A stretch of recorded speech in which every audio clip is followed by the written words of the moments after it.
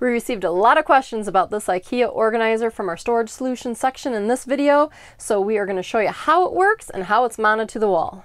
This Skadis collection is extremely versatile because you can organize it endless ways and it's awesome for your home, office, or RV, so you definitely want to check it out to see if it's going to solve some of your storage solution issues. Hey, it's Erica from Radar Road Warriors. We make educational videos for our viewers and show our adventures and findings along the way, and today we're going to talk about my favorite accessory, the Skadis collection from IKEA, so let's get into it. The overview of the system is it comes with a pegboard with a bar that attaches on the back, and we'll get into that in a little bit, and then you can buy the accessories that you want, and you can move them around however you want. It's amazing. The pegboard comes in different sizes and colors, and I don't want to tell you what those are because IKEA might change their offerings, so make sure you check the link below to see what they currently have in stock. And then when you buy the package for the pegboard, that will come with the bar and then the screws that you need to attach it to the wall. And then you get to pick the accessories that you want. So I'm going to go through the accessories. I didn't buy all of them. I almost bought all of them, but some of them I didn't need. So first off are these little cubes and they just attach. Then we also have these ones and there's, oops, they slide out. So these ones will fall off when you go down the road in your RV if you're using this in an RV. So they also have these bungees that you can buy and those attach like they use them for pictures or just attach different things so I use them to hold these on because I bought a whole bunch of them and I had extra so I said why not so these ones I do need to use the bungees so these don't slide out on some of these boards, you'll see that I use the bungees around these containers, but you definitely don't need them if you're in the RV, they do stay put. And then these ones are shelves. Let's see how big they are. And then we have these bags. And I didn't think they were that big at first. You can see I have a notebook in here so you can see how big they are. They're about three inches wide. Now how I use these in the RV, I either put stuff in them, right here we're in the bedroom, and when we travel, we'll close our slide, which closes off our dresser. On these ones, I specifically put the items that we need on travel day. I put my underwear, socks, pajamas in here. And I also leave them in there and then later I can't find my stuff and I'm like, where are they at? And they're always in these bags. They also have these loops I use for scissors. You only need one, but I had two and I didn't have anything extra, so I put them both in there.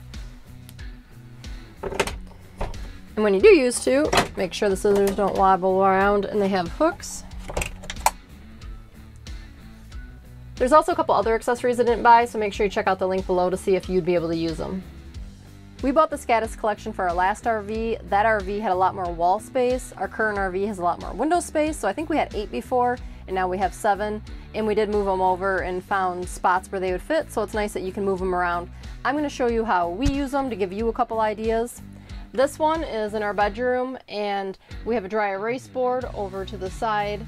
We took off the TV mount, and it's a lot of the small things that we need in here, but we don't have any area to really put little small things, so this is absolutely great. Then I have this one by my bedside to put lotions, chapsticks, everything that I need for bed.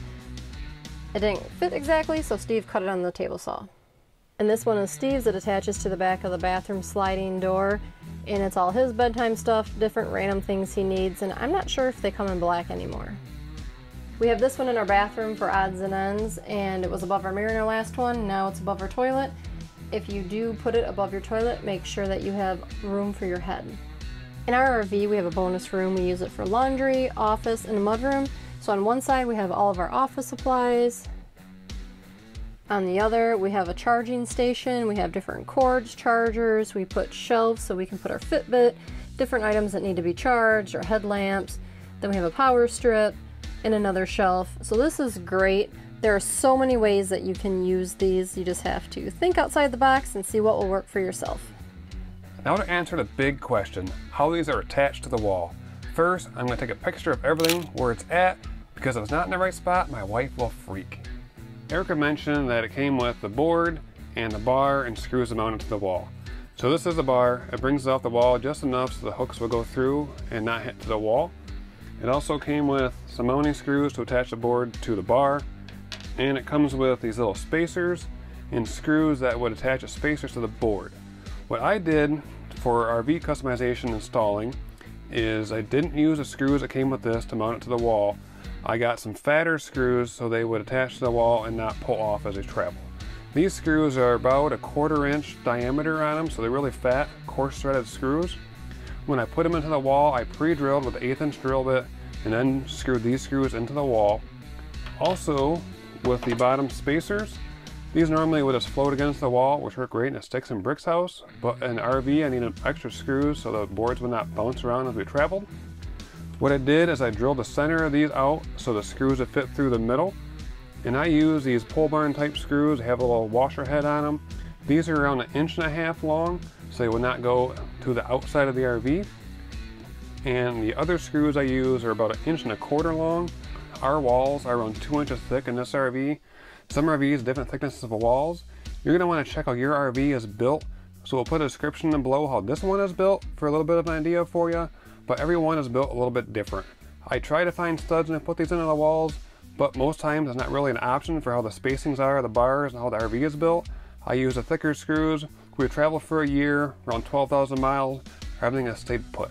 Erica mentioned I might have confused you a part of that. Our total wall is two inches thick. That means if a screw is an inch and a quarter long, it's not going to poke through the outside of the RV. All you're really concerned about is this piece of wood you're screwing to on the RV.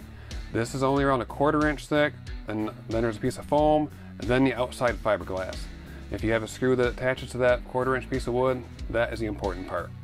And now I'm going to show you how this goes back together. So I'm going to put it back together and it's going to be probably a faster speed for you. First thing is to put the screws into the bar. You'll want to snug them up a little bit and then put the board on it to make sure everything is level and lined up. And then you'll tighten these screws back up. So did you use those screws from Ikea or those ones that you bought? These are the screws that I bought.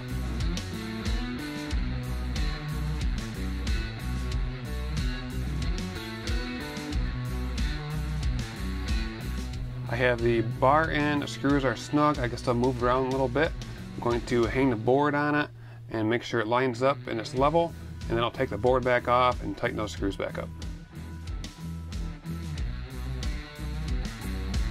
Also remember, the wall is only a quarter inch thick, this is not very heavy duty wood.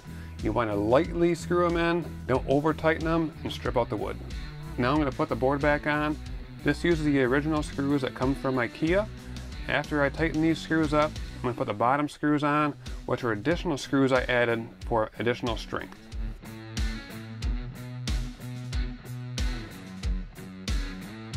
These are the pole barn screws that go through the original spacers that come from Ikea.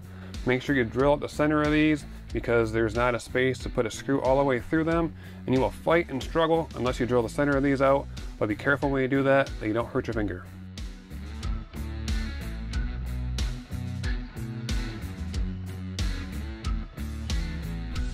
All back in place. Now to put everything back where it went, and refer to the picture. Some bonus tips for you. If you are limited on space like we are in the RV, you might want to arrange everything how you think you're going to want it before you put the screws in. And what I'm talking about is you can see up here, I can't put my bags in this position, so I'm losing some vertical space. And every time I told Steve where to put the screws, I put them in the opposite direction, so I screwed myself on a little bit of space. So if you can organize it figure out where you want it that will work best for you, then put the screws, you'll be able to utilize more space. And my last bonus tip for you is if you don't know what to buy and you go to IKEA, buy a couple of each of their accessories, get enough so you can put on the board, but don't buy a whole bunch so you might not use them. That way you can put them on the board, arrange them how you want them, and then I would suggest taking a picture, and then moving to the next board, arrange them how you want them, take a picture, and then add up how many you need, and then just go back online and have them shipped to your house that way you're not buying too many, but you have enough of what you need to organize each of your sections of your house, RV, or office. The links to the Skadis collection is down in the description below, so make sure you check it out. If you haven't already watched the RV renovations video, Upgrade Storage Solutions, that's going to be down there as well, or if you need a link back to it. And if you have questions about the Skadis collection, leave me a comment below, and if not, see you on the next video.